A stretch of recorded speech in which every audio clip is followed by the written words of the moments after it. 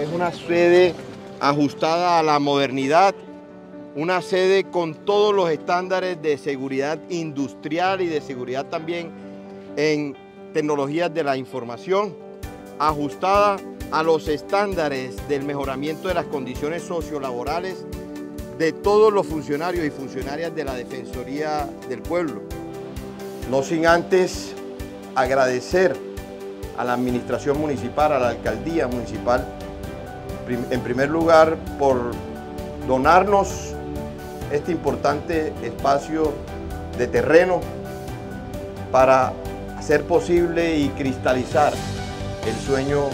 que nos anima a todos los que trabajamos en el territorio por la protección, por el respeto, por la defensa de los derechos humanos